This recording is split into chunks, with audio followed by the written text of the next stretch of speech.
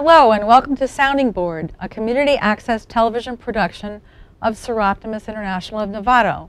My name is Madeline Peters and my guest here, Stephanie Smith, is from the Matrix Parent Network and Resource Center.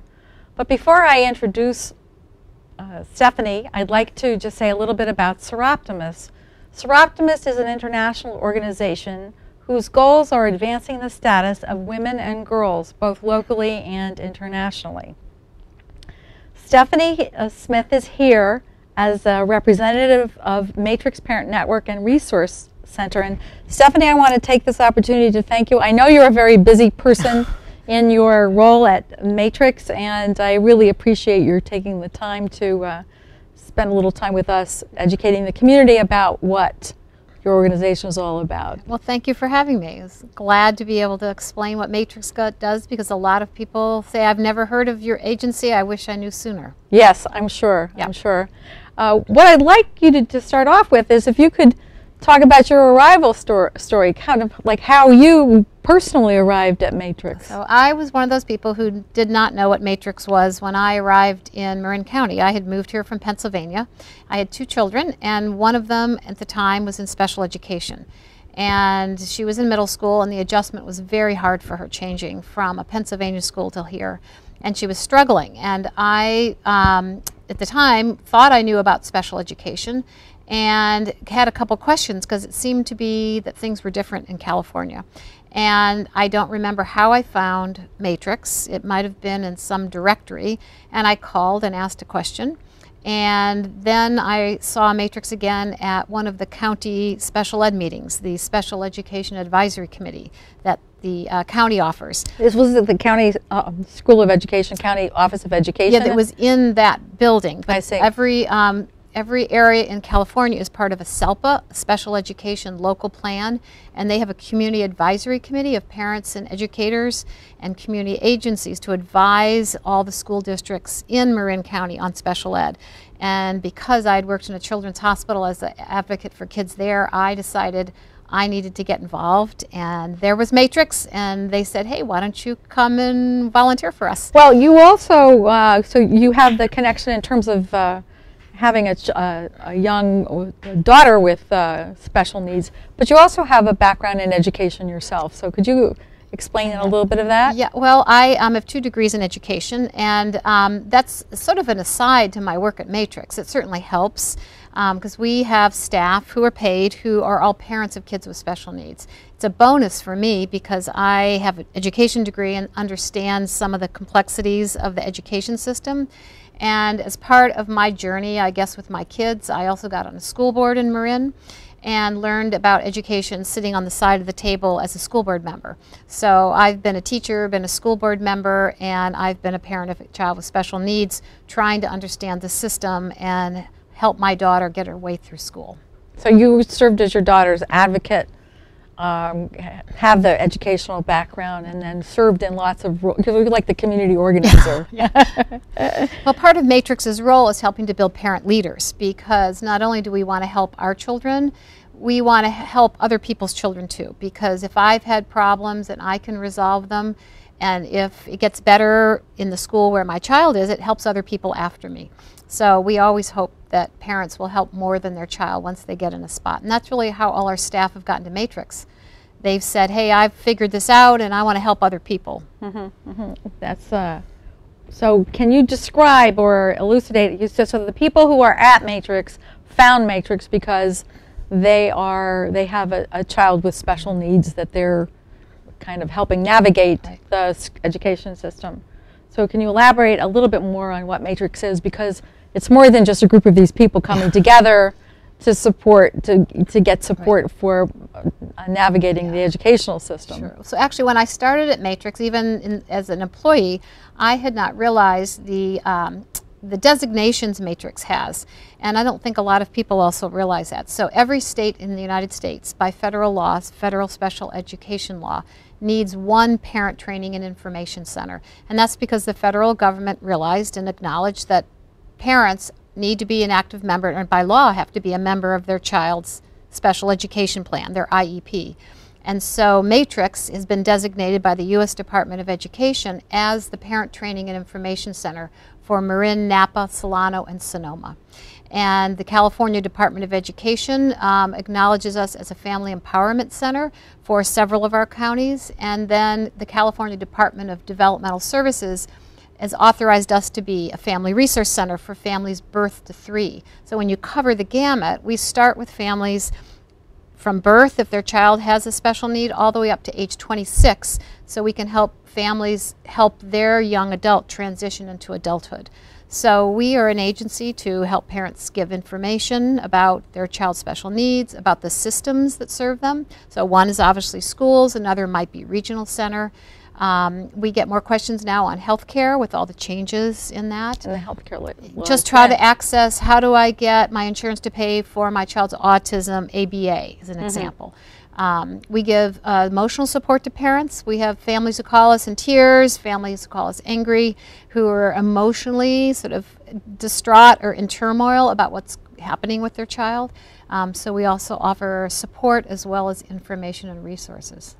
It's amazing, you know, because I know what the building looks like, and uh, it's not as though you're a multi-storied multiplex with hundreds of employees. No. You know, right. you're a small center here, but you certainly have many layers to the level of services and your impact. You know, it's like your impact just, uh, you, have been recognized on several different levels as more than just um, a parent network and uh, it's just amazing that so much is packed into one. Well, you know, you've said it really well because sometimes I think people see our 1 800 number and they think we have this phone bank of many people answering the phones. And we have enough parent advisors or the staff that I supervise, and we have enough of them to cover four days of the week. So, um, and we have some backup, but it's not like we're a massive organization. We're a nonprofit. Um, we get some funding from the federal government and the state of California, but it's not nearly enough to cover what we do. So we give our services free. Um, sometimes parents will call and say, now how much do I pay for this? And we say, well, nothing. We welcome donations. That helps bridge the gap. Um, but it's, um, it's sort of a relief for parents to know that there's somebody out there who's walked the path they've walked, or similar path and um, is there to listen and understand it from the parent perspective. It's a lifeline for a lot of these. Yeah, oh. Matrix oh. is definitely a lifeline for these yeah. families as well as uh, you know, all the people associated with who are trying to support these families. Well, actually, one mom had said after we do workshops and training, so we do we work with families one on one, either on the phone or they come to our office, and we also do group trainings. And after one of our trainings, a mom had said, um, to one of our staff that uh, felt like she had, had glasses now and she could see clearly. That before she thought sh she had an image of what was happening, but now that she went to our training, she said it just looks so different. It's like someone gave me glasses and I hadn't been able to see before. Uh -huh. Now, one of the things I noticed too is uh, because I get your uh, email blasts, is that you have infor information provided to the community both in English and Spanish. Yes. So we have bilingual parent advisors. So um, that is because you know we want to be able to serve um, all the people who may have needs. And um, I've often thought what it would be like if I were in a country where I did not have good command over the native language. And people are making plans and decisions about my child's education. So um, it's, it's hard enough if you have an education degree, understand English, um, and I had trouble with my child's IEP. I mean, I, it took me a long time to grasp what it really meant, what my daughter's special needs were, and I can't imagine what it would be like if I also was trying to understand the language. So we are there, actually we translate um, English to English. We talk to another parent who speaks English and explain their English documents in parent language because sometimes they're in educational language. That's true. Yeah. So we do translation, English to English. English to English. Educationese to parentese. Mm -hmm. And then for our, our clients who speak Spanish, not only does that have to happen, our parent advisor is there to talk to them in their native language to make it understandable. are the other parent networks throughout the United States um, also providing a similar level of service? Well, we're all affiliated, but we're all slightly different. So the Bay Area has four parent centers, um, and they they all have the same mandate: is to help parents understand the systems that serve their children, their educational systems, through that parent center grant we get from the federal government. Mm-hmm. So they're all similar. So I always say to a family, if you move go find the parent center in the state or the area that you're in. And we have a button on our website that says find a parent center near you. Because if you've moved from California and you're going to Ohio um, and you're feeling new, there is a network of parents in Ohio that could be there to help you. And all of these parent centers have different names. So we are called Matrix Parent Network. Uh, Support for Families is the agency in San Francisco that serves San Francisco families. Parents Helping Parents serves families on the peninsula, and DREDF serves families in the East Bay. So we all have hmm. different names, different boards, different funding sources to a different extent, and we might do our, our, our uh, services slightly different. Mm-hmm. Um, we have a heavy emphasis on one on one help through the phone and talking with parents and workshops um, other agencies. Uh, there's a Rowell Family Center in Northern California that serves a large region, so they don't have the ability to drive uh, to different schools uh, to have meetings. But we're fortunate that at least in our area, we do get out and do community meetings as well. We, we go to meetings uh, at schools and with other agencies.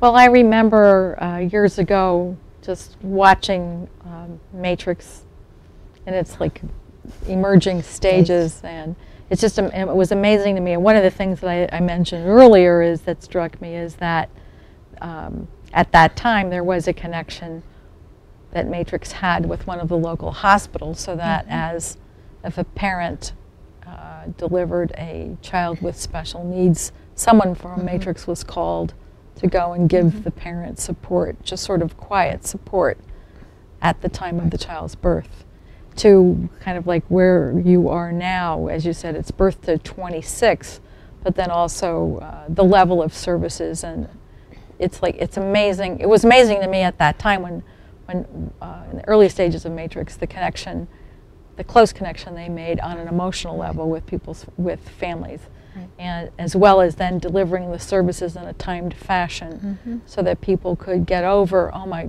being overwhelmed and then be able to hear uh, uh, what they needed to know in order to be an advocate for their yeah, child. That's a good point because things have changed, obviously, in 30 sure. years. This is our 30th anniversary. That's right. So I just wanted to make sure to mention that. And years ago, when it started, it was a group of mothers around a kitchen table who had kids with very visible, probably special needs and disabilities. And there were there were hospital visits, and we still do an occasional home visit for uh, families with little wee ones. And now what's happened over 30 years, obviously things have changed in terms of how we serve. Much more website. We have a Yahoo online chat room that's monitored by us where parents can go and communicate with each other. Uh, when I started at Matrix, our website was very little. Now our website is full of information. And in the disability range, what has really happened is um, in the beginning, it seemed that there were more families of kids with more physical disabilities um, disabilities people can see, and over time, most of our clients now, we still serve those families. Most of our clients now have what I call the hidden disabilities uh, ADHD, uh, speech and language problems, emotional problems, uh, autism. And so um, many of those hidden disabilities are often more misunderstood by the public and sometimes by schools because you can't see something when you look at the person, their child but there is something that is a barrier. And we serve families even before they know they have a child with special needs. We get families calling saying something is not right, I'm worried. Mm-hmm. So um, we've really grown in terms of the scope of the kinds of special needs we serve and uh, probably the extent of the information. People call us from other states because they found our website. And um, we will refer them to their parent center, but just I think it's testimony to our e-reach, you know, exactly. our, our, social media, our ability to, to go beyond having to come to our office. Mm -hmm, mm -hmm. And your influence, your influ you know, I remember some of the parents who sat around that initial table. Yeah. yeah. so it's amazing to me to know, you know, from my own experience, just how it started and, and to see where it is now. It's, it's incredible. uh, let's see, you talked about uh, what, okay, well, you talked about the range of services, but what is it that families need?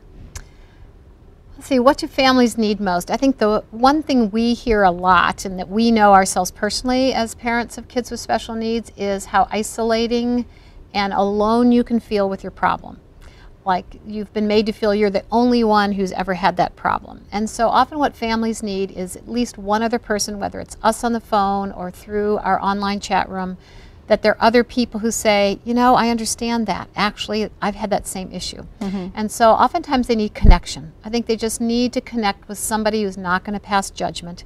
We never tell a parent what to do um, we help them talk through their options because what I may want for my child with ADHD is not what you may have for mm-hmm. your hopes and dreams for your child. And so many parents just want a listening ear. Um, these days, different from even when I started at Matrix, the wealth of information can be overwhelming. So we can kind of cut through some of that and point people in the direction of a few good websites, some great articles, because I think sometimes families drown in information as they're trying to find information for their kids, or there's not enough, depending on your child's special needs. So, well, I, I can imagine too. Well, as what you said is you help kind of narrow parents' focus because because we are in the information generation, mm-hmm. information age. Not all that information that's available is is is good. Right.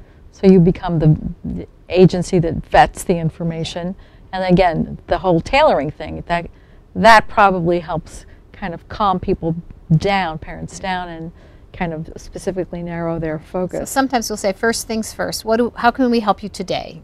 Because okay. there can be so many things the family's dealing with. It's okay, let's, we listen to their stories and say, okay, what can be worked on today?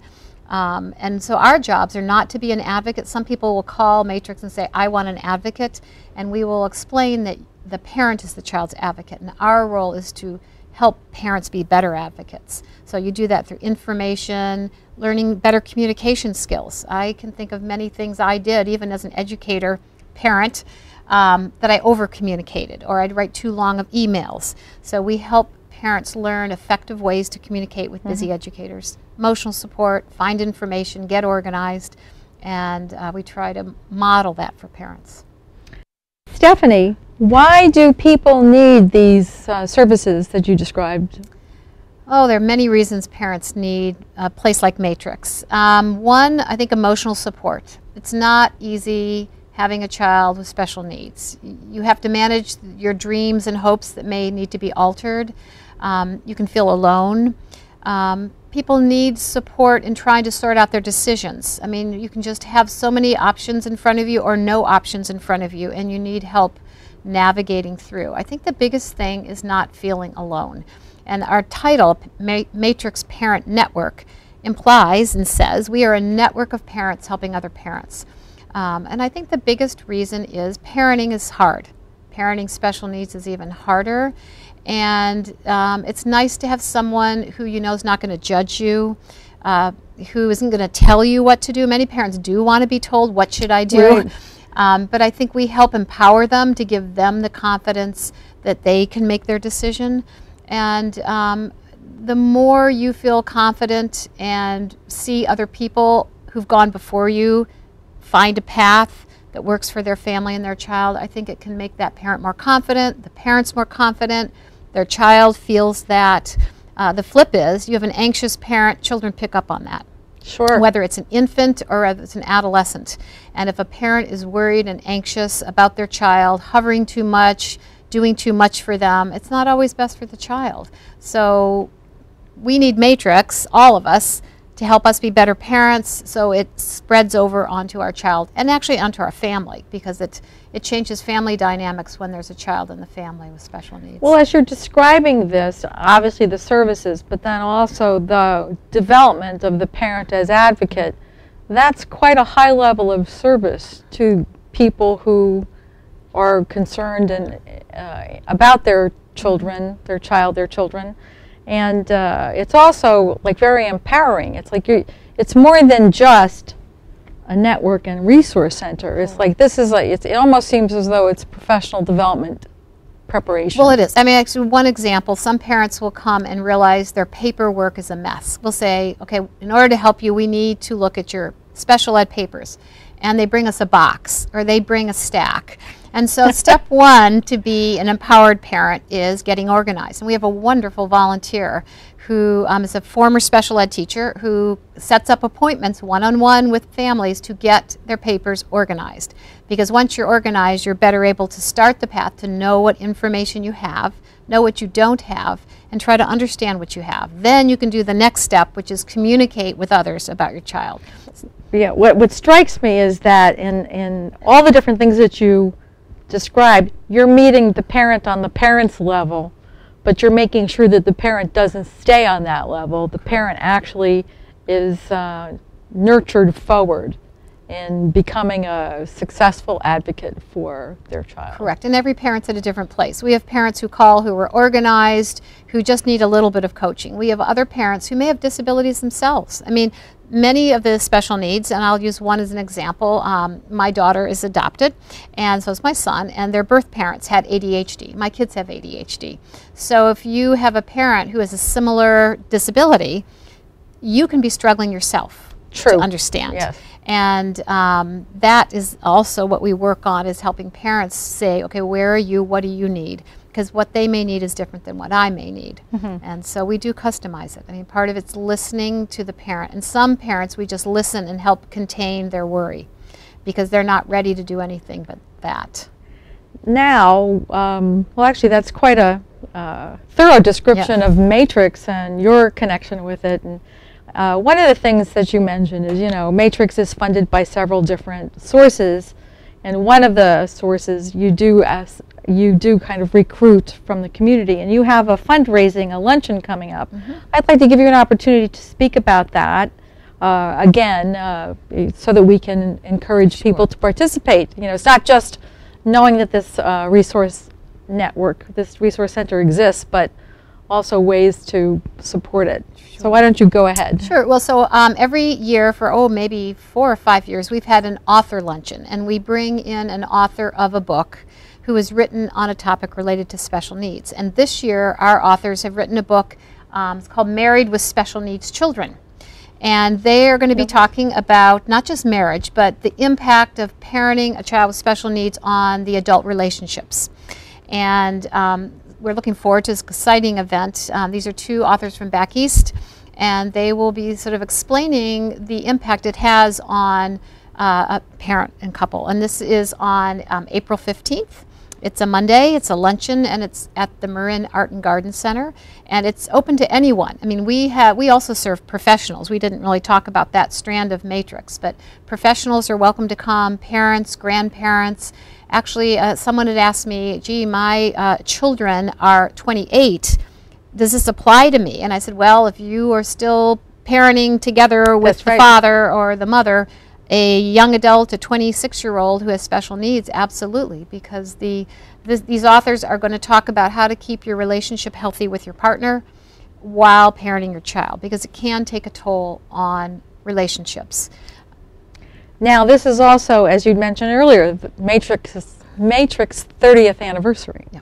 So this is uh, you're celebrating uh, 30 years all year, Yes. and so this is just one of the series of events that serves to shi put the spotlight on Matrix. Yes, I think we're going to have another one in the fall, most likely, of um, bringing together people who have worked with us for the last 30 years. Um, hopefully, we'll have some of the adults by now uh, whose parents we helped.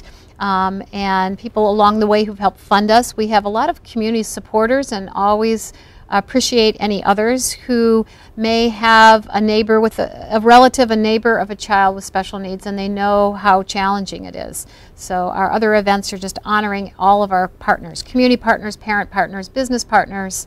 Um, we don't, we can't exist unless we partner with others That's because true, our yeah. services are free. Yes. and um, we're fortunate. We want to keep to be able to do that. Well, again, I'd like to take this opportunity to say thank you for being here.